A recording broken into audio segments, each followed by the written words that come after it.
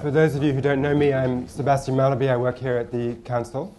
Uh, a couple of housekeeping things. Please um, remember that this is on the record, this meeting, and you're supposed to turn off those uh, Blackberries and iPhones that go bleep and mess up the sound system. Uh, I guess if you have a Samsung device, the Apple lawyers will be waiting for you on the mezzanine level. Um, we have a great group for this World Economic Update meeting. Uh, I guess we have the old timers and the old old timer. Um, Vincent Reinhart uh, over there on, on, on, the far side from Morgan Stanley, is of course a regular here. Ditto Lewis Alexander from Nomura in the middle. And John Lipsky was um, a, a, kind of anchor person of this um, meeting series when uh, it was going a while ago, and um, he is now at um, and was just recently at the uh, number two at the International Monetary Fund. Um, so uh, we obviously have, from the size of the audience, a good appreciation of the quality of the panel. We may also have an appreciation of the precariousness uh, of the economy.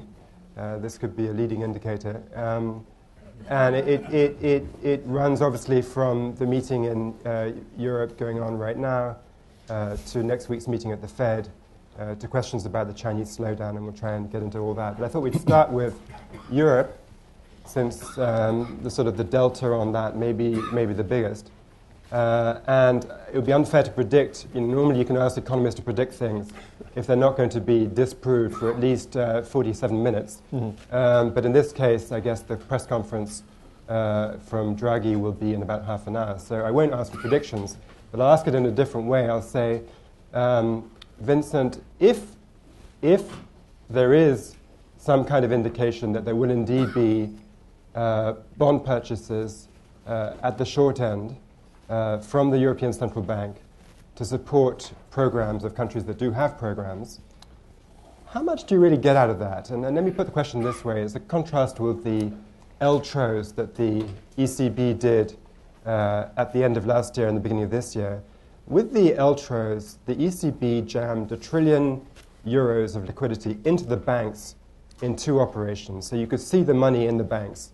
In this case, what the ECB is saying, it seems, is we will support on a conditional basis uh, uh, economic reform programs, but will stop in midstream at such time as they don't comply with the economic conditions.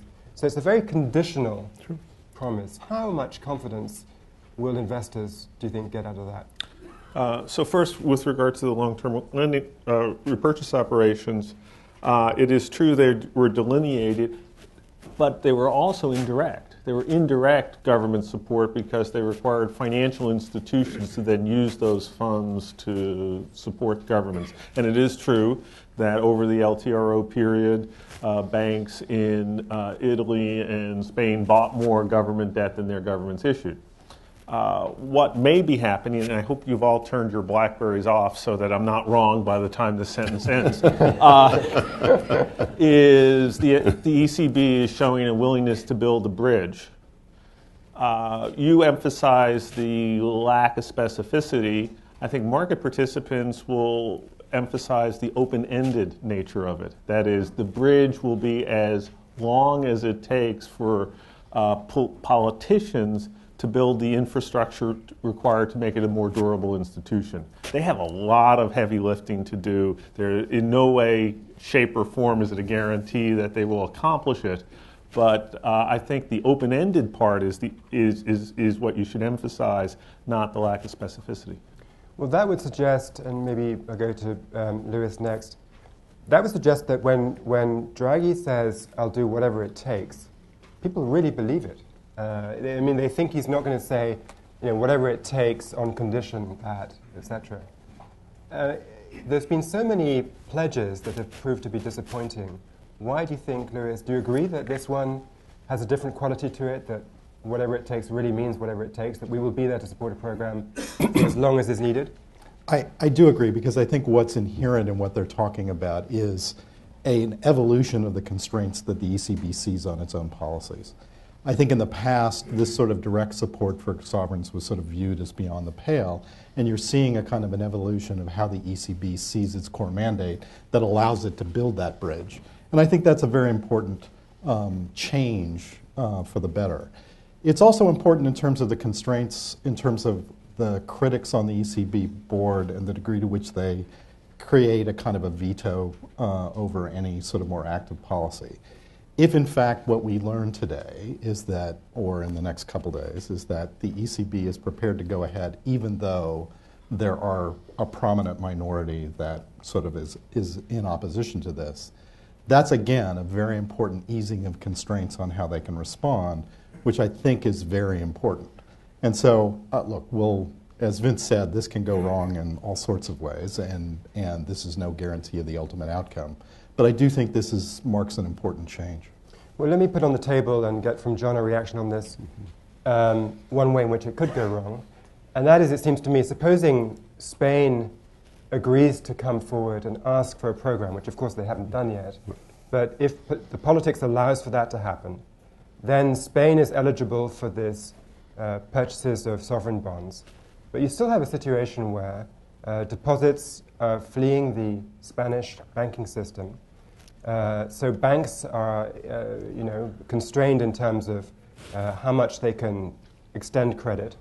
Uh, the price of credit is very high in Spain, and that seems to me to, to suggest a very painful route out of recession. You know, can a program work in the face of if, if, if, if the public sector and the ECB are supporting the sovereign, but the banks are credit constrained, can you, can you work your way out? Well, th- let's come back to what Vince said, that there's a lot of heavy lifting that's going to be involved, and that's for sure. It strikes me there's a lot of attention being paid to the ECB, and that's, that's reasonable and, and uh, uh, sensible. Uh, they're the folks who, when the crunch comes, can show up in the morning with a lot of cash at the, at, uh, at the window. Uh, but I would focus more on the other things that, are, that the ECB said its actions are conditional upon, and those are very non trivial. One, we should remember that uh, on September 12th, there are two important decisions that are coming up. One, the Dutch election, and second, the German Constitutional Court. I, I would have been surprised if the ECB was going to be very specific about what it would do in advance of the German court's decision, mm. which bears on the legality of the European stability mechanism's actions to provide, among other things, direct support to, so, to banks, uh, not going through the sovereigns. So the ECB says we're willing to step up and do what it takes if, if country X uh, engages in an adjustment program. It hasn't specified what that means. Uh, obvious question does that mean an IMF program or not an IMF program? Second, uh, will the ESM be ratified and will it be active in uh, providing direct support to the banking system, e.g., in a country like Spain? So, in a way, uh, although the attention has been on the ECB and what it might and might not do, it strikes me that it's the preconditions to ECB action that is really the critical issue. The quality of the program and its nature, the ability of the ESM to provide direct support to banks. What about, so maybe I'll persist in this question, my, my scenario with uh, deposit flight in Spain. Vincent Lewis, do you want to weigh in on that? Is Look, it's, um, it's obviously a sort of an important issue um, that, uh, if it continues, is ultimately going to be something that could sort of drive this. Mm. Um, I think the points John made are, are absolutely right. I mean, there's a lot of other things going on. And one of the other things he didn't mention was we've got the European Banking Union coming up. That's also sort of an important yes, piece of how exactly. this all goes forward, which bears on this. So essentially, if you if they can construct this banking union, which will include the infrastructure that allow you to do deposit insurance, those are sort of important micro elements for how you deal all of these, and those things are fundamentally uncertain. So there's a, you know, I agree with you know on both sides. There's an awful lot of moving pieces here that have to go forward. I would come back to the notion, though, that like in the sense of what's changed over the last month. Um, to me, the biggest change is a different attitude on the part of the ECB in, the, in terms of the way it sees it mandates, and I think that's material in terms of the potential outcomes. Yeah. I, I mean, the basic question you have to ask yourself is, what is the euro about? Was it a social decision or was it an economic decision? If it was a social decision, then it basically tells you that politicians have an unlimited pain threshold. They understand their voters and they're representing their interests. If it's an economic decision, then deposit flows do matter. They have to worry about the uh, the consequences for growth. They have to worry about the consequences for support of their their their their their national financial champions. And at some point, some on some future weekend, leadership will get a phone call that surprises them, and they may make a different decision than they made previously. Um, it really does rely on what is your vision of the future. Did they go into this as a social decision or an economic one? But Vince, it doesn't have to be an either or. Mm-hmm. Isn't the part of the complication that the answer is, is it this or that? The answer is yes. It's social and it's economic and financial. So you could fully, it, it depends on what, what is the end game? What do you see as, as future? And you could see European unification in the end on a north south axis or an east west axis. The north south axis is Italy, which is basically two regions with a common flag held together by transfers from the, the rich to the poor. But you could argue plausibly that both regions haven't pulled up the total. On the other hand, east west is, is German unification, two regions pulled together, large transfers from the rich to the poor, and 12, 14 years later, you say both pulled each other together. Uh, if in the end, the whole idea of Europe was a social decision to bring about the better economic one, then the costs now of bearing with the crisis are probably manageable. If, on the other hand, it is still an almost unlimited uh, uh, sequence of transfers to stitch the whole thing together, that's a much different determination. But in some sense, the fact that you even have to pose this question, is it a social project or is it an economic project, is saying that you don't know the answer. And nor do any of us. When we, you know, it's, we're, we're kind of looking. Uh, and to the extent that we don't know which it is, there is uncertainty about policy making. And there's uncertainty about the sort of uh, determination with which something like Draghi's pledge will be played out over the, over the extended period of months. And that's exactly the fuel on the speculative attack of a currency union. If you're not sure of, of the motives behind the design of the principle, then financial markets are going to take a run on the institution, and they're going to find out whether the pain threshold of politicians is limited or unlimited. And if I could just, it's, a, it's I think, interesting to think about German unification in this context. Um, Wall came down on November 9th, 1989. The monetary union was implemented on July 1, 1990, and full political unif- unification was on October 3rd, 1990. In less than a year, they went from a cold start to full integration. And that obviously, the fact that they were able to do that, uh, and very well, not flawlessly, but extremely well, suggests that the institutional constraints over doing those kinds of things are not the real issue. What, of course, lay behind that was a more or less instant political consensus around where you were going in the end. Right? That was almost from the beginning, never in doubt. And in some sense, the, the question Vince is raising, just in the, in the way you framed it, is we don't have that here. Mm. And you know, the, the more you hear European politicians sort of struggle around what really is the political commitment to the end game, it's sort of all of those doubts come back. I mean, one prism or one example of these doubts about whether the project has really got the political oomph behind it to work, I guess, is this question of banking uh, union. Because there is talk of a banking union, there is talk that this is the quid pro quo for uh, allowing the uh, ESM bailout fund to help the banks directly. But the definition of banking union goes from sort of the uh, fig leaf of European Central Bank supervision of the biggest banks, which is one version of it, uh, through um, uh, sort of European Central Bank supervision of all European banks, and then finally at the extreme to deposit insurance, mm-hmm. which implies such a sort of fiscal, potential fiscal transfer that I think most people think it's politically implausible, uh, at least in the next period. So, uh, how do you see this, John? I mean, isn't there so much uncertainty around it that, again. Right. Look, Sebastian, let me take a step back and give at least some, some perspective on this. Uh, the two, when you think about the, the uh, uh, the critical comments or the doubtful comments about the sustainability of the project, of the EMU project. They really center around two, uh, two issues. Number one, that the, that the Eurozone is not an optimal currency area, insufficiently economically integrated. And second, that it lacks the, the flanking, let's call them fiscal or governmental or governance institutions necessary to run a, a currency union. Both of those issues were evident to the participants from day one. The idea was not that there was a doubt about the, the zone being an optimal currency area. The decision was to try to make it an optimal currency area, and the currency was going to be the fulcrum that was going to force the integration and reform that was going to make it an optimal currency area. Uh, what was not foreseen was that the mechanisms of discipline that were supposed to drive that, uh, which was the, the no exit clause for once you get in the euro, you can't get out. And the idea was you're forced to adjust.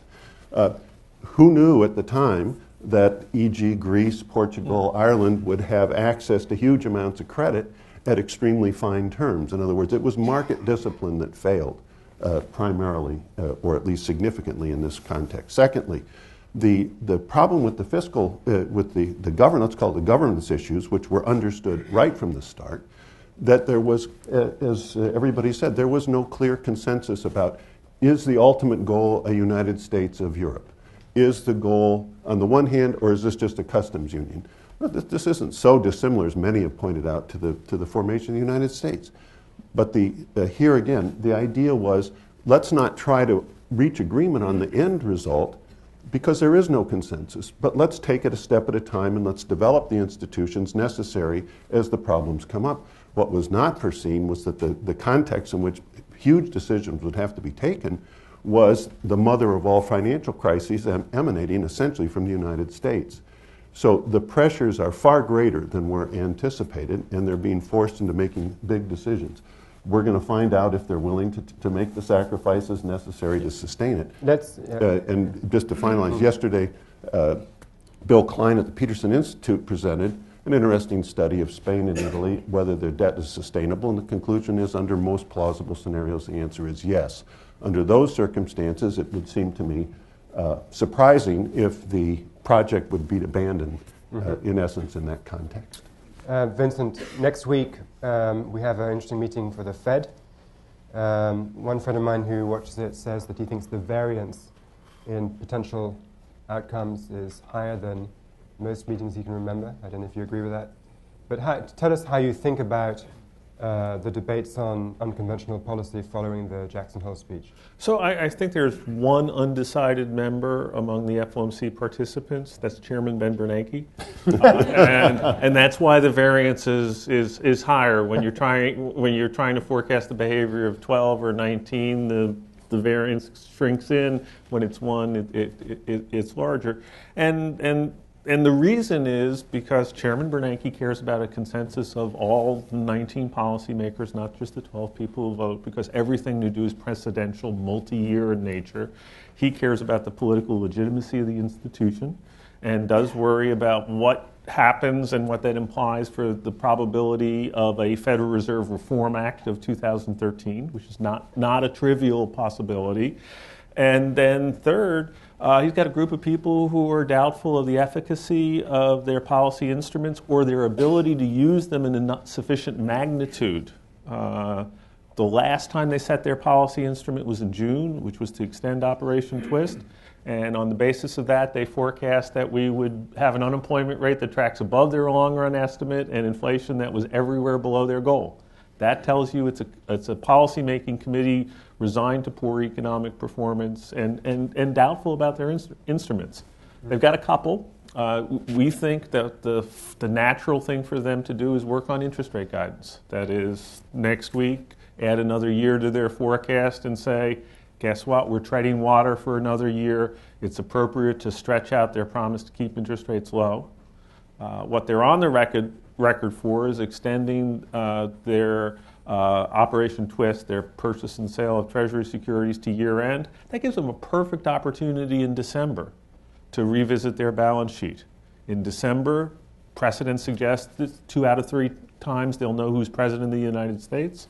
Uh, they'll know who's running the House. They'll know who's running the Senate. They'll have a lot more clarity on the fiscal cliff. And they'll also have just heard the opinion of the American people about how interventionist they want their policy officials to be.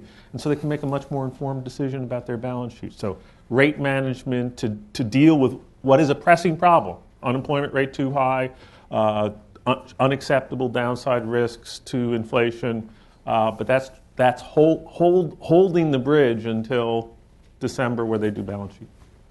One of the things, um, Lewis, in the chairman's Jackson Hole speech was this defense of the idea that quantitative easing uh, really worked.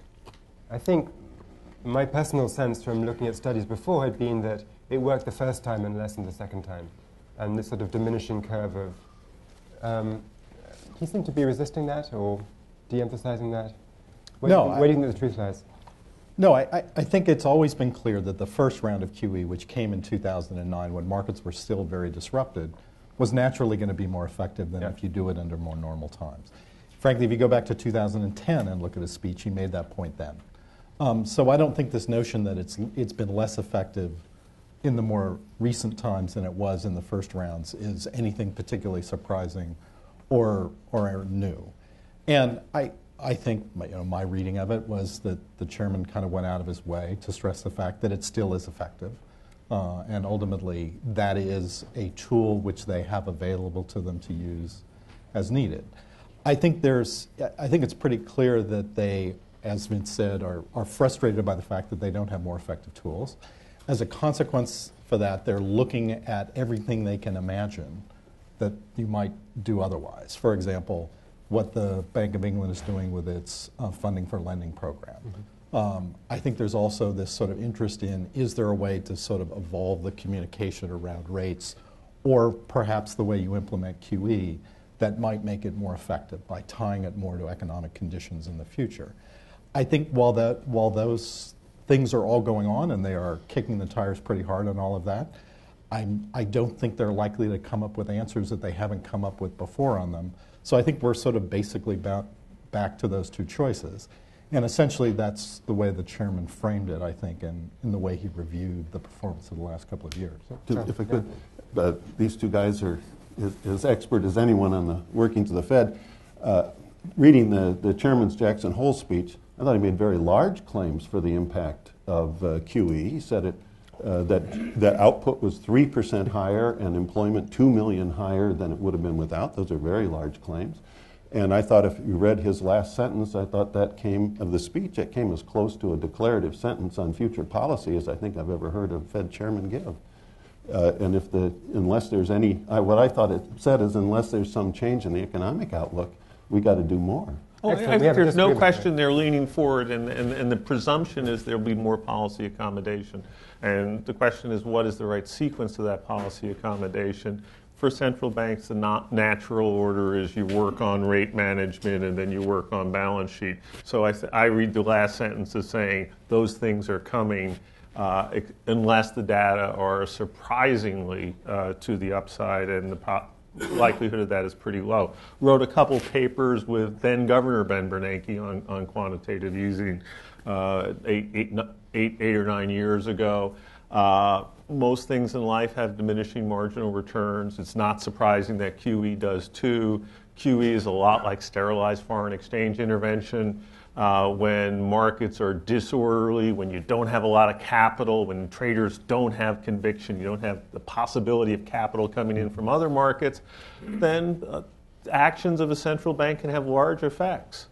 When, however, markets are orderly, when traders have conviction, when there's a possibility of capital coming in from everywhere, they typically don't have much effect. Uh, and now, and the last point is uh, this was a crisis in financial markets, financial institutions. It was also a crisis in economics and finance. Uh, our models don't work particularly well. Uh, the idea that you can assert one, one percentage point consequence of QE and then put it into one of those models and then grind out a solution that says you, there are that many more employed as a consequence is probably a stretch beyond what we're capable. That's a Uh, one, one. one more question, uh, sort of loosely related to Jackson Hole uh, on financial regulation, which also came up there. Uh, Lewis, maybe for you. Um, I guess the sort of most striking development in US financial regulation recently was this decision by the SEC to back off on money market funds. Um, do you see that as, I mean, you know, we've had some regulatory action on banks, shadow banks, much, much less. Money market funds are a central part of the shadow banking system. Uh, and the SEC is basically saying we, we can't do it. Does this leave, it's now up to the FSOC, or what happens next? No, I, I think this is a very important kind of issue that the FSOC has to address. Um, in some ways, they've made the case um, already that money market funds are a systemic issue. Uh, I think there's been a lot of work on that, a lot of consensus around that, some of it done by um, some people in the audience here. Um, um, and I think now the fact that the SEC has been unable to address this, one of the things FSOC was put into place to do was address these situations where you have a systemic issue that isn't being addressed by the primary regulator. And so now this is very much in the FSOC's um, agenda. I think it has to be. Uh, and there's obviously you know, a complicated set of questions about exactly how you do this. How, you know, one option is to essentially put it back to the SEC by making a systemic designation for the activity as a whole, the first response of which would be to then put the onus on the SEC to address this issue again, which may be the right way to go. Alternatively, you could actually designate money market funds as systemically important institutions themselves and have the Fed take over uh, sort of the regulatory role. But um, in some sense, this is exactly the situation that, one of the situations that Dodd Frank was designed to address.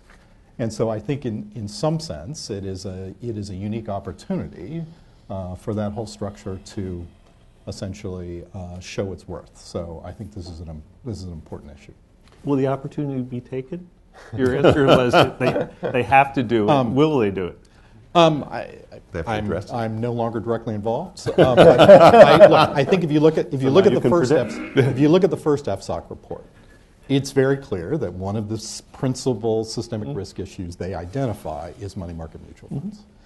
I think the situation they are in now, with the SEC having not acted, I, th- I think demands action. Mm-hmm. And so, obviously, we're going to see who's uh, who wins the presidential election, who's Mm-hmm. dri- who's controlling, and who's essentially chairing the FSOC going forward. Um, I think by the just by how long it takes to work these things through, it probably won't be Tim Geithner. If it was Tim Geithner, I feel pretty confident in predicting that they would address it. Given that this is going to be probably on somebody else's watch, I'm a little less confident, but I think the answer is yes. Uh, just before we open up uh, and invite uh, members to join the conversation, I want to put one question to John about China.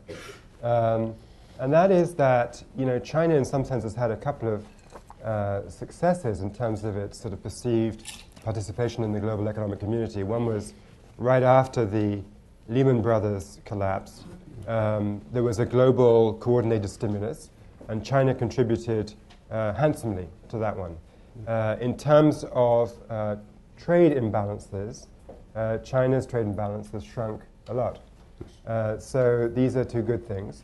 But it does strike me now that we've been discussing what the central banks could do in Europe uh, and uh, in the US. Sweden has just cut this morning, I think. There's a lot of action around the world, and yet Chinese growth by Chinese standards has come down a lot, and policy action in China, uh, on some readings of it, um, has been surprisingly uh, cautious. Do you think we're kind of coming up to a moment where China uh, may be nudged by uh, economic uh, leaders in other countries saying, come on, you should do your share here uh, to prop up global demand? Mm, Interesting question. The, uh, of course, uh, a central factor, two, two uh, key unknowns. One is how slow is slow in China. Uh, if you take a look, for example, at the recently updated uh, IMF uh, forecast, it's calling for essentially a soft landing, 8 to 8.5% growth uh, in China. Certainly that's not double digit, but that's not shabby either. Uh, and in the context of a, a relative success in rebalancing the economy towards stronger growth in domestic demand uh, and less reliance on net exports because that's consistent, in, at least in the IMF forecast, with a continued current account surplus under 3%. Uh, which is, of course, dramatically down from where it was before the uh, before the crisis. Uh, the second unknown, but but uh, they say what's unknown is is that right? Is this a soft landing trajectory in which you'd have to say things are obviously there's there's difference in in the uh, um, uh, prosperity of given sectors. We've seen the recent manufacturing data in China suggest a significant slowdown, which would give pause and create question of whether that soft landing view is too sanguine. Um, and if so, I think there's a general sense that there are policy levers available to the Chinese authorities if things are going uh, uh, much softer than they had anticipated. And if that is the case, then I suspect there will be not only uh, uh external calls for uh, policy action, but even more importantly, uh, domestic calls for, for action in the context of the second unknown, which is the leadership change that is coming up in a, in a matter of months uh, with the new leadership, as I understand it, on the, uh, committed uh, to a rather activist uh, uh, set of economic policies along the lines of the 12 five year plan already uh, adopted as formal policy. And for those who haven't read it, if you read it, I'm sure most folks here would read down that list and say, right, right, right, right, right. It's liberalization, market orientation, uh, et cetera, reform of the fiscal system, reform of the banking system, the financial system. Uh, let's see if it all gets done. But for right now, the, the key question is how, how slow is slow? If this is a soft landing, then they're going to be fine. If it's worse than that, then there certainly will be calls, as I say, domestically for, to, for things to do. Okay, let's see uh, if there's any questions from the members. Uh, right here on the aisle, the microphone should be coming. Um, so please speak directly into it. And um, Marta Varela, I wanted to ask the panelists, uh, returning to Europe, to what extent do you believe that labour market reform emanating from Brussels will be a significant factor in the fix for Europe's woes? Well, that's a, yeah, that's a, that's a favorite of mine. Okay. I'll, I'll, be real quick. Uh, I always called that vision, uh, I called that the Lisbon, the Lisbon agenda fallacy. the, the, the notion that market re- that labor market reforms begin with legal changes and then emanate to, to market changes is gets things backwards. I think how, the, how labor legislation changes is companies become under pressure, they put pressure backwards on their workforce for improved performance in, in the uh, standard ways. And if that rubs up against legal constraints, then their pressure comes against uh, to the to the legal authorities, to legislatures, to make the appropriate changes so things can get, can get going. I, I don't know of very few times in which I can think of important changes coming first at the legislative level without already having created, without a swell of support from the, uh, from the, the, let's call it the corporate or business sector. Uh, I think that is happening, and of course, the place that is the poster child for that, uh, that process, it was Germany. Uh, under in the uh, uh, Schroeder government. So I was on a panel, the title of which was "The Financial Crisis in Europe: A Blessing in Disguise." The theory being that market pressure would then lead to reforms, and that would be so growth enhancing that they would the, the, the, uh, the crisis would pay for itself. My answer was, if it's a disguise, it's a very good disguise. uh, yeah. right. Yeah. Andrew Gundlach, uh, Arnold Ness Schroeder, that answer might lead into this next question, which is you really have two approaches here. Uh, the U.S. approach, which is Keynesian and easy money, and the argument is that there hasn't been enough spending, and the European approach, which is really Austrian, there's no credit available, and uh, there's deflation forced upon uh, most of the population. And the question is, which one, if you're not econ- economists but rather financial historians, which one is going to prove to have been a better approach, and what are the unintended consequences that you worry about in each? Maybe we'll go down the line here and have a vote from everybody. Uh, He- So, so John let, is me. pointing at other people. He doesn't want to start. Well, I don't think, I don't think anybody's policy has uh, won any gold stars. Okay, okay, let's go. We're going to start this way. So let, let me give the answer that Lewis won't give. So therefore, we'll have a diversity of opinion. Wrote a paper with my, my wife Carmen and Ken Rogoff, both of Harvard, looking at uh, the experience since the Napoleonic War of, of 22 advanced economies. And here's the the bottom line. Uh, episodes of debt overhangs where you have gross debt more than 90% are very costly. The growth discount is on the order of 1.2% slower real GDP growth per year as long as you're in the debt overhang. That those episodes are very long. Median duration is 23 years. So if you wind up with high debt, by the time you get out of it, the level of debt is a level of GDP is a quarter lower than it had been if you'd never got there. And it isn't always about rates. It isn't about market discipline. 11 out of the 26 cases of significant debt overhangs, it wasn't market discipline forcing that contraction. It's something else. So, so um, I understand that the unemployment rate is high in many advanced economies, unacceptably high. We need more policy accommodation. We have to do that in a way that gets us to a path for which we uh, have a, uh, consolidate our fiscal accounts. if you frame it as U.S. versus Europe, um, one of the crucial, crucial, crucial distinctions is, of course, the U.S. benefits as a safe haven. And so, in some sense, we have the flexibility to deal with Vince's problem over time in a way that other countries don't. If you compare us to Greece, right, we have the luxury of time in a way that they don't. And I think that that drives you to different answers. Now, the obvious point that, you know, in some sense, the work that Vince just described creates for the U.S. is you can't do this forever. You do have to pay attention in the long run. There's got to be some sort of solution that strikes the balance between those two things, is, is I think, important. But if you look at where the fiscal debate is in the U.S. at this moment, what's striking about it is it's only about the pace of consolidation. The, in some sense, the Keynesian side of that debate is frankly not in play at the moment. Um, it, it really is the question of how fast we're going to do consolidation, not whether or not we're going to do stimulus now and consolidation later. And I think that uh, it certainly affects me as I'm, as I'm a forecaster. But we, you know, the United States is in this sort of very different position. Um, you might argue Japan, uh, somewhat different circumstances, very high domestic savings rate, managed to sort of face a different set of constraints in that environment. But I, I ultimately agree with Vince that like you have to deal with this problem and, and you can't get around it. But we are operating under somewhat different constraints. John. Yeah. Uh, which is everything's fine until it's not fine. I, I, But uh, I didn't say not pay attention. I said we have Yes. to I fix think the you point, it's John. this time is different. I believe is this is different.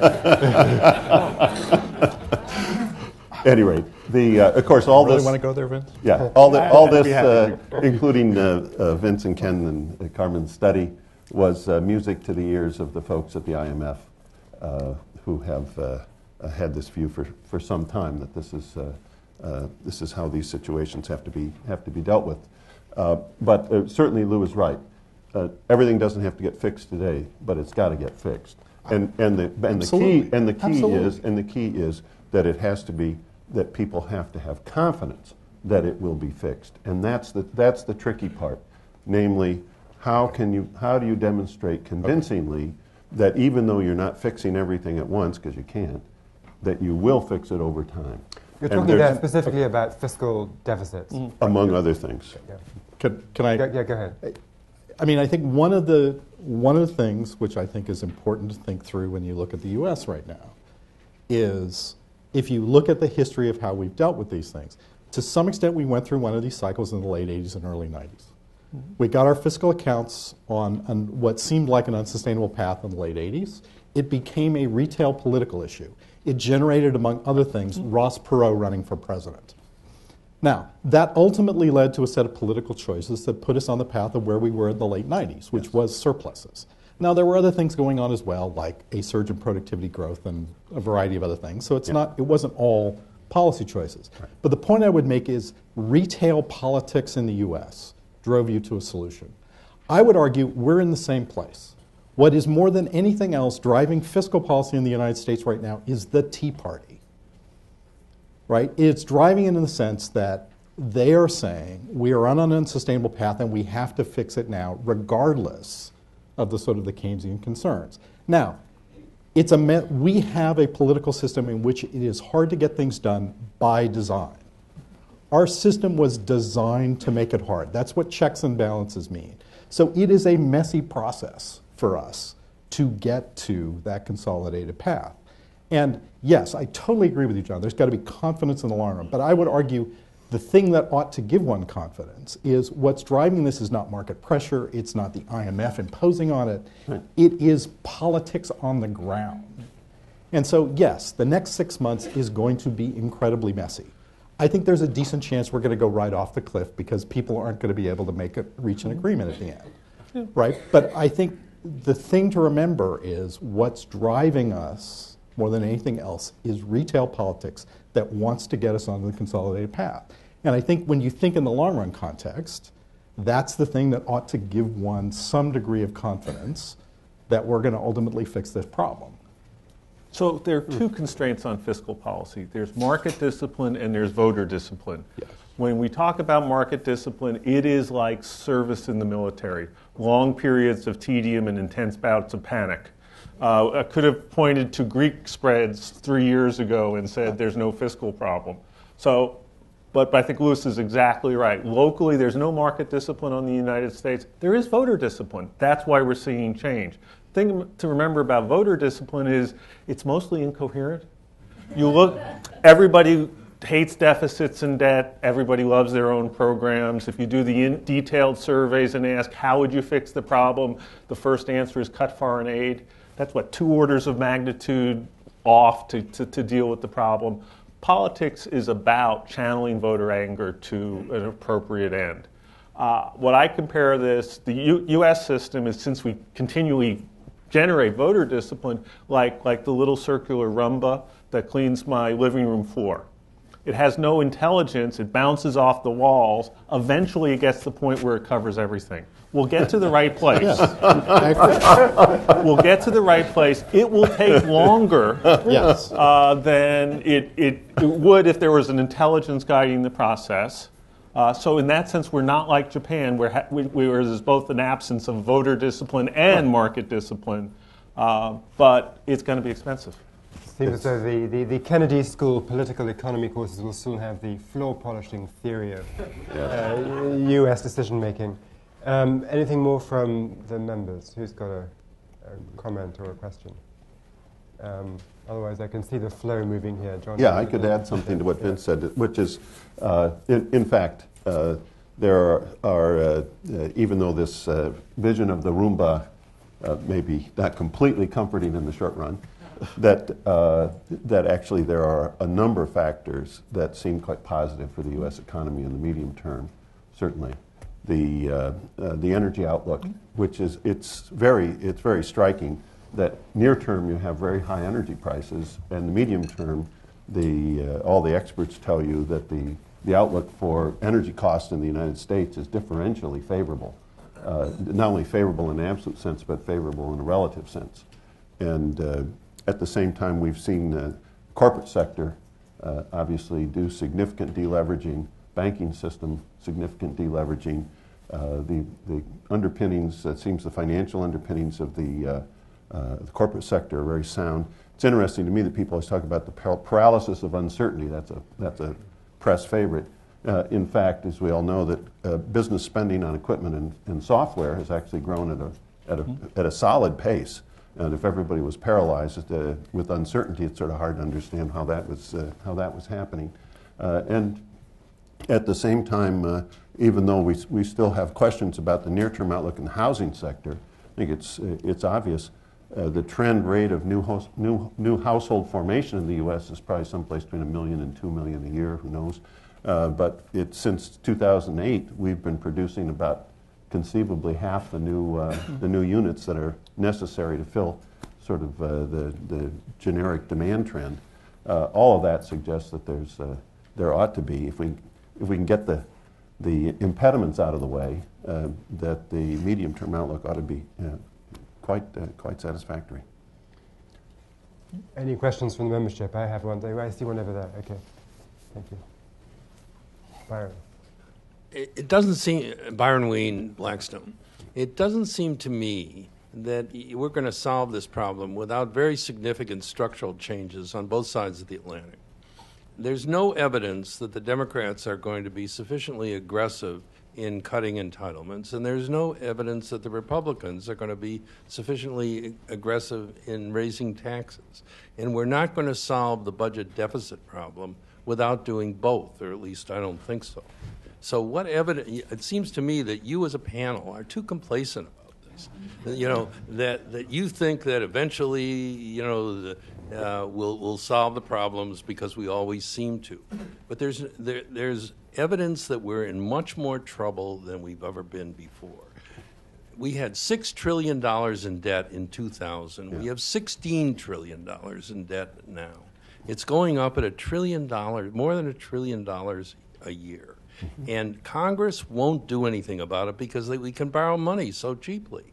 They won't do anything about it, in my opinion, until interest rates go up. But by then it'll be too late. So I'm worried there aren't enough structural, there isn't a motivation for structural change. And the same thing is going on in Europe. All they're doing is temporarily solving the problem there by, issue, by, by providing funds. They aren't really dealing with the structural issues. They talk about it, but if you look at what's going on in Italy and Spain, it's just not enough. So my feeling is you're too complacent. Am I being too critical? Um, uh, Ed, I, I'm not going to. I, I think that was mainly directed at me and not my two colleagues who were, I think, more, more less complacent on your scale than I was. Um, first of all, uh, let me agree that the circumstances are much worse than they were in the 1980s, and uh, the concerns that both these guys expressed about right if we were get to the, if we were to get to the point where the market paid attention to long-run fiscal sustainability in the United States, that is a very big deal that none of us wants to deal with. Number one. Number two, um, there is no question that we are headed in a kind of a political environment that is very contentious and very partisan, with both sides staking out positions that are that are hard to move. But I think I would I would point to the following signs for somewhat more optimism. First of all, it's clear from all the reporting that the president and and uh, Speaker Boehner came pretty close to a significant deal last summer. That included um, significant changes on entitlements on the part of the president and some revenues on the part of the Republicans. Now, that you know that obviously that deal did not come forward, but there is a basis for some optimism that they worked through the details closely enough to sort of think about those options. Um, second of all, I take as progress the fact that um, Chairman Ryan has put forward a budget that has a, actually involved going out and getting the Congress to vote on spending cuts that are, you know, non-trivial, right? I, they're not necessarily what I would choose, uh, but the fact that they've taken the action of actually forcing the Congress to vote on those things is a sign of, of some movement in this area. Um, I think this is something that is going to take multiple years to get us there. And I would come back to the notion that ultimately what is driving us is a dissatisfaction on the part of the American voters on the fiscal path we are on. And that that is going to be reflected, as it has already been reflected, through our elections. That is, I think, how, you t- how I take you know, what happened in 2010 more than anything else. And so I think you're going to see that reflected uh, uh, uh, going forward. And so um, look, I, the, I, one of the things I've spent a fair amount of time thinking about is systemic risk. And the sort of the mother of all systemic risk is if you get to the point where you see some transition away from U.S. Treasuries as the safe haven asset. Mm. There is nothing that tops that in my mind as a systemic risk. Now, having gone through what we went through in 2009, I mean, I, you know, where every, t- every in every day when we had a bad day at that point, I checked to make sure that treasuries rallied. Because the day when you have a, a bad day and risk and treasuries don't rally is the really bad day. And I, I have to admit, I kind of look at what's happened over the last three years and I kind of ask myself the question okay, like, what is it going to take for foreign investors to look up and say they don't want to own treasuries? And I, I don't want to get there and I want to do everything to prevent us from getting there, but it's hard not to look at what we've come through and argue that there's some resilience there. So I really, I really am flattered that I could be on a panel and viewed as an optimist. Uh, and, and, and I, th- I think that uh, my, my statement isn't about any local optimism. I think it's just a mistake to uh, undercount a, a, a, market economy that historically has been very resilient. Uh, and so historically we've risen to the challenges. We have to make, as a nation, three realizations. Number one, the average tax rate has to go up. Number two, you don't necessarily get the average tax rate up by raising marginal tax rates in an inefficient tax system. Number three, the biggest overvalued asset in the world right now is the net present value of entitlements that our, our citizens think they're going to get because we don't have a, a a fiscal system that can actually deliver that. Those are three really hard things. It isn't obvious to me that we have a political system that generates those solutions really fast. If you want to look for good news, the good news is this election is most likely going to be count, be, be contested on two distinct visions of yes. fiscal policy. The even better news is we are ter- terrible at delivering fiscal policy right now. We are so far inside the efficient frontier of fiscal policy that any which ways up. And so it is possible to define two distinct, coherent, credible visions for what we should do that get us to a better place. They differ on your view on the size of the government, the mar- you know, the progressivity of tax system, the role, the role of the safety net, but we can do it and we just have to, we'll get there eventually. Uh, it may wind up being very, very costly, and it could be a close run thing. Okay, here's my bit. The, uh, uh, look, it seems to me that there, there, uh, sep- there are several factors here that uh, uh, obviously there's a set of downside risks here, downside risks in Europe, particularly evident in Europe. But it seems to me, first of all, there is a notion, public, uh, uh, let's say a popular notion, that the rise in debt and deficit in the United States was due almost entirely to discretionary decisions by the U.S. government, which is simply not the case. Most of the rise in debt and deficit reflects the weak, the weak performance of the economy, automatic stabilizers. At the same time, even though federal, and, and as a result, the deficit ought to be geared towards a renormalization of the economy. In other words, it'll, it'll improve if the economy, uh, in, fact, in fact, improves. And I think I gave a couple reasons why you'd think that that's, a, that's a, a still likely. Uh, there is a window, but at the same time, I would say there is a real window of opportunity for improvement in fiscal policy that, if it is not met, is a real danger. And it's easy to define. Uh, federal debt as a percent of GDP has increased by 50% since the beginning of the crisis and federal debt service as a percent of GDP has increased by zero since the, since the beginning of the crisis. This is not going to last. Forget, the, forget anybody losing faith in treasuries. If there's a renormalization of, int- of the economy and a renormalization of real interest rates, federal debt service as a percent of GDP is going to go up by two to two and a half percent in the next by the end of the, the next administration. Uh, so if they don't make progress toward improving the medium term fiscal outlook in the next two years, it's going to come back and eat them alive because they're going to be struggling to hold the deficit down just paying the debt. So this isn't going to, this isn't going to go away. And Myron, you may be right that, the, that Congress is, everyone's too myopic to do anything about it. I, I hope, you're, I hope you're wrong. Uh, and it, it's, uh, let, let's see what happens. In Europe, I would say uh, the, the short version is is there a plan? I'd say the answer is yes, there is an explicit plan on what they should be doing. What you're basically seeing is an argument about who's going to pay.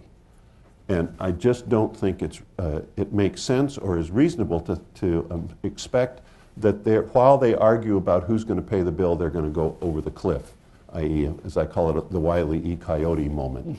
Uh, uh, could happen, could happen. But uh, as, as you can see, some decisions have been made in Europe over the past few months that a year ago would have seemed impossible. Now, it doesn't mean it's going to it's going to succeed, but I think there's there's reason for thinking the heavy lifting that we started out with Vince talking about is in fact going to get done. I think Not we've got time for one more question. I saw somebody earlier just there. And, yeah. Hi, David Malpass with Encima Global. We haven't talked about taxes, so we have a tax cliff at year end. Uh, if, as Vince says, average versus marginal rates, does that inevitably get us to consumption taxes as the population ages? Lewis, you want to try that? Um, I don't think inevitably. Um, that's obviously one solution. I think just following up on John's list of good things, one of the things that I'm encouraged by is all the discussion that's actually going on about fundamental tax reform that's sort of that's part of but really independent of the fiscal story. Um, and I, I think we have a tax code that is very inefficient. I think you've had the president's come out with a white paper supporting essentially risk, uh, revenue neutral corporate tax reform. You've got the House um, doing hearings on that now, which is the necessary preparatory work. So even in a even in a kind of a world where Obama gets reelected and you have a Republican Congress, I think there's a decent chance we're going to get fundamental tax reform, and I'd add that on to, the list of John's um, things.